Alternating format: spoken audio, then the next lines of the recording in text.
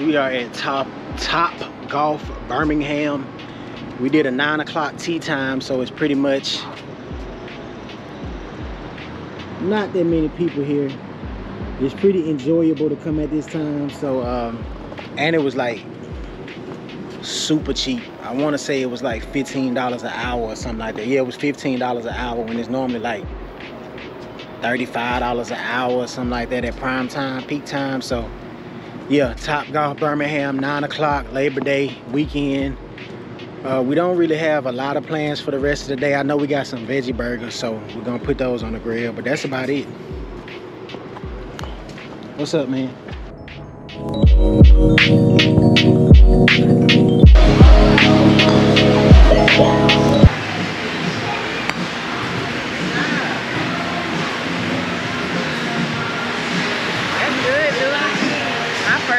I. A few times. Yeah.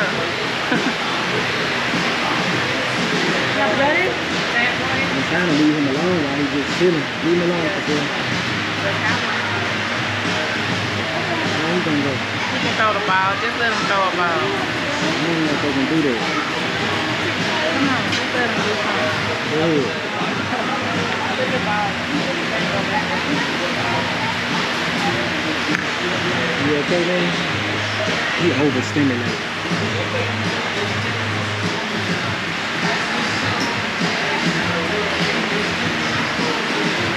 You wanna play?